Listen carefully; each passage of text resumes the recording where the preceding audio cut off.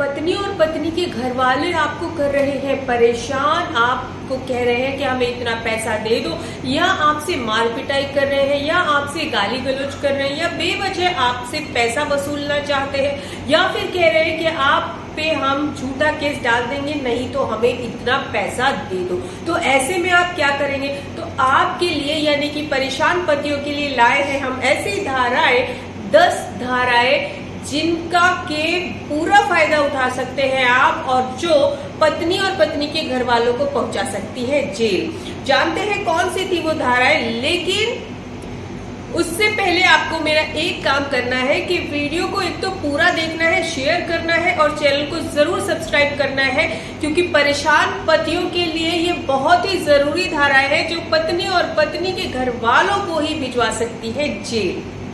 सबसे पहली तो आईपीसी की 323 अगर पत्नी या पत्नी के घर वाले आपके ऊपर हल्की फुल्की मारपीट कर देते हैं, यानी कि आपको थप्पड़ वगैरह मार देते हैं, और आपके पास इसका एविडेंस है या विटनेस है तो आप ये धारा उसके ऊपर लगा सकते हैं।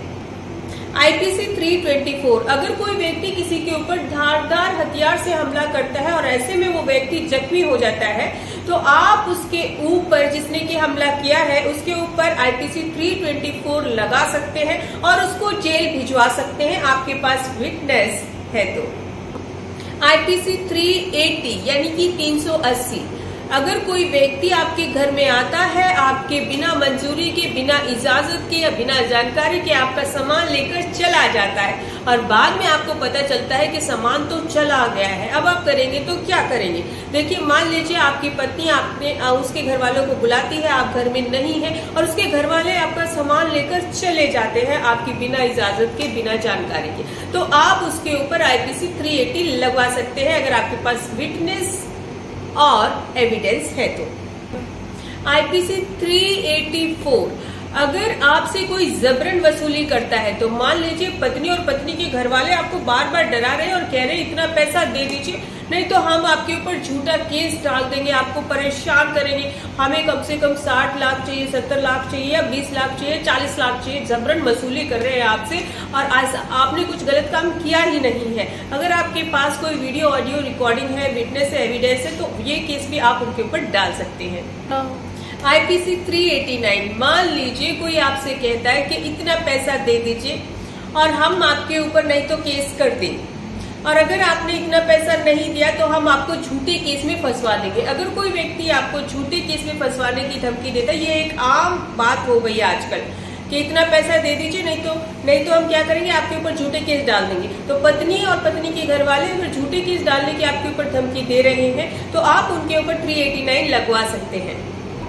आईपीसी 499 और 500 अगर आपकी पत्नी और पत्नी के घर वाले आपके समाज में बुराइयाँ करते फिर रहे हैं, आपकी बदनामी करते फिर रहे आपके रिश्तेदारों में आपको बुरा भला बोल रहे हैं कि वो तो बड़ा गंदा आदमी है, मुझे मारा है, मुझे गालियाँ देता है, मुझसे पैसे लेता है। ऐसी इस तरह की अगर बदनामी करते फिर रहे लेकिन आपने कुछ किया ही नहीं है तो आप उनके ऊपर 499 और 500 के तहत मुकदमा दर्ज करवा सकते हैं। आपके पास एविडेंस और विटनेस होना ज़रूरी है।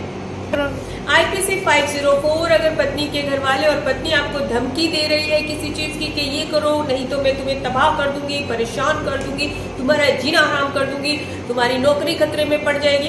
इस तरह की धमकी अगर पत्नी आपको दे रही है और पत्नी के घर वाले दे रहे हैं तो भी आप उसके ऊपर आईपीसी 504 लगा सकते हैं। इसके साथ ही साथ आईपीसी 506 भी उसके ऊपर लगा सकते हैं। अगर आपको मारने की धमकी दी जाती है, यानी कि गंभीर धमकी दी जाती है तो आईपीसी 506 भी लगवा सकते हैं। ये सारी धाराएँ आप पत्नी और पत्नी के घर वालों के ऊपर लगा सकते हैं, लेकिन ज़रूरी बात यह है कि इन सभी बातों का आपके पास एविडेंस या विटनेस ज़रूर होना चाहिए। तो पति ना घबराए। अगर आप सही हैं तो कानून आपके लिए है। पति हो या पत्नी, कानून समान है। जो भी अपराधी होगा, वो जेल ज़रूर जाएगा। अगर आपके पास एविडेंट और विटनेस है तो पेश कीजिए और इन धाराओं के अंतर्गत आप पत्नी और पत्नी के घर वालों को भिजवा सकते हैं जेल। कैसी लगी आपको जानकारी? कॉमेंट में ज़रूर बताइएगा। वीडियो को शेयर ज़रूर कीजिएगा। जय हिंद।